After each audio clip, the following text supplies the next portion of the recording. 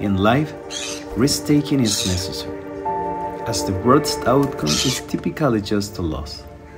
If you know me, you can see I am a crazy guy, but always controlling what I do. I'm gonna tell you my true story. On August 17, 2019, I had a tremendous accident at Miami Beach that nearly ended my life. However, it imparted on me a valuable life lesson that has greatly impacted my perspective.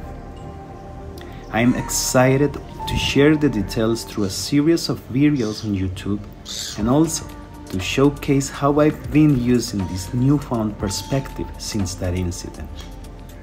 I made the decision to change the course of my life and embark on a journey of self discovery and exploration, enjoying the little things that little moments. Because believe me, they aren't little at all.